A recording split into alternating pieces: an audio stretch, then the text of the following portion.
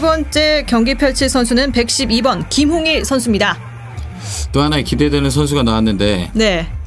어떻게 이번 문제 루트를 풀어갈지 한번 지켜봐야 될 것 같고요. 네. 네, 다시 한번 루트를 관찰을 했고요. 이제 첫 번째 시도 시작합니다. 이 시도를 하다 보니까 사실 선수들에게 주어지는 4분이란 시간이 결국 결국 길지는 않다는 생각이 들어요.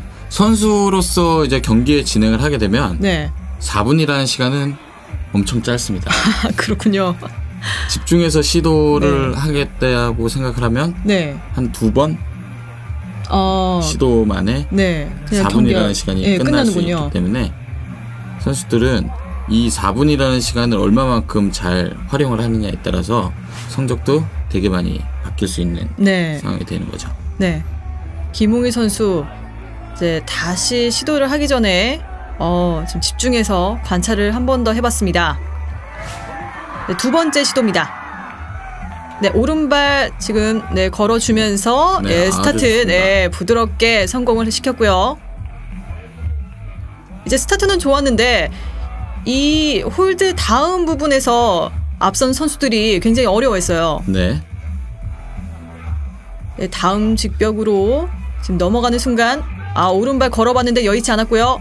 지금 김홍일 선수는 김한울 선수하고 약간 동작이 다릅니다. 네, 지금 저희가 생각했던 네, 동작들은 처음 나왔던 김한울 선수가 했던 동작이고요. 네, 그리고 그 다음 생각했던 동작들은 이제 김홍일 선수가 하는 동작이기 때문에 네. 지금 김홍일 선수가 하는 동작들이 훨씬 어려운 동작들입니다. 어 어려운 동작인데도 불구하고 어, 지금 집중을 해서 아 아, 브론즈 홀드까지는. 갔는데 예, 아 본인도 너무 지금 아쉬워요.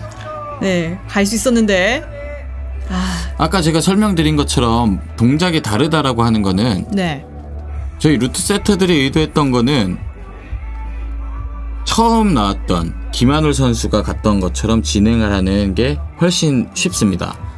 지금 김홍일 선수가 진행했던 것처럼 왼손이 먼저 진행을 하게 되면 저 삼각형 볼륨 홀드가 아무런 잡히는 역할을 하는 게 없어서 네, 몸에 상당한 부하를 주기 때문에 김한울 선수보다는 많은 힘을 쓰면서 진행을 하게 되고요. 네, 그리고 마지막 동작 완등 홀드를 갈 때 동작이 멀기 때문에 힘을 많이 뺀 상태에서는 김홍일 선수가 간 동작에서는 상당히 많이 부담을 느낄 수 있습니다. 네 여기죠 바로 네.